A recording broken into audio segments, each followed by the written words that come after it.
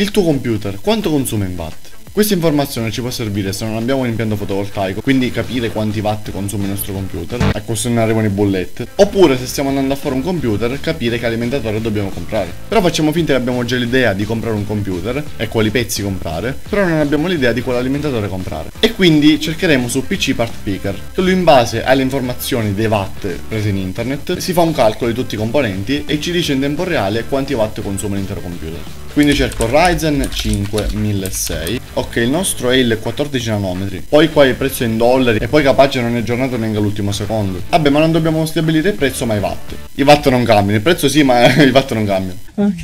Il dissipatore con lo stock dell'MDC, dovrei cambiarlo, dovrei mettere quello della Cooler Master. Mettiamo questo, vabbè comunque alla fine il dissipatore non è che si ammucca così tante watt. La scheda madre è la B450 Max, non la Tomahawk ma la Gaming Plus Max, 155 dollari, mizzica. Poi memoria RAM è la Crucial Ballistics, 16 giga e 3000 MHz mi pare. 74 dollari, beh io l'ho presa all'incirca lì. Cioè per ora ci dice i watt stimati, solo con processore, dissipatore, scheda madre e RAM. HDD la Toshiba 1 terabyte, IP300, perfetto. Perfetto, lo storage l'abbiamo messo. Poi scheda video, la 1650 Super o 1650. Ok, della Gigabyte WindForce Overclock, perfetto, questa qui. 329, ma no, magari fosse. Ora costa di più 500. Poi un'altra scheda video, no, grazie, una me basta. Il case, ah, in base alle ventole che c'ha. Vabbè, vabbè, c'è ventole. L'alimentatore, vabbè, noi ce lo mettiamo intanto. Che è il Cooler Master MVV o SAS.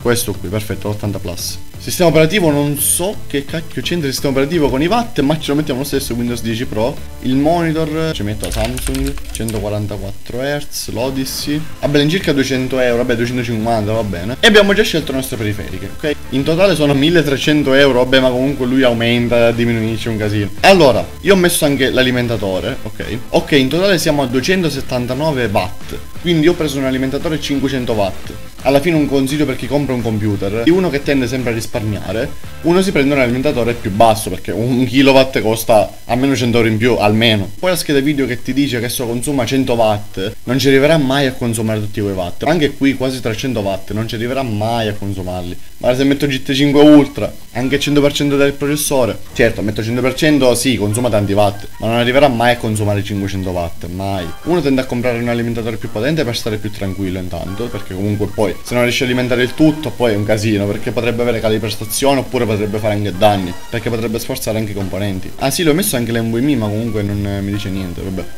e anche comprare un alimentatore potente serve per fare un upgrade che so io della 1650 voglio passare a una 2060 capace con 500 watt ce la posso fare ce la posso non fare dipende dipende anche dagli altri componenti. Certo cambiando solo la scheda video non conviene perché ci sarebbe molto probabilmente un bottleneck un collo di bottiglia che sarebbe una scheda video molto potente quindi di fascia alta e un processore medio. Qua un collo di bottiglia per dire se faccio un gameplay mi renderizza bene la grafica ma se c'è un'esplosione tipo in GTA un'esplosione eh, crash e dici mizzica faccio una scheda video potente che sono una 4080 e mi lagga perché il processore non riesce a processare sì in gioco di parole quel determinato processo. Quindi carusi alla fine i watt si contano ma come nel mio caso consuma il computer 300 watt potevo prenderlo benissimo anche da 400 watt comunque vado ho un giudito a Giuseppe eh, che mi ha fatto computer insomma ammazza Comunque carosi, niente, questo era un video per capire anche quanti watt consuma un computer, così uno si tiene a basso che bullette. Buona giocata, buon gaming, occhio mettete a grafica bassa se non consuma troppo watt e accattatevi un kilowatt dell'alimentatore.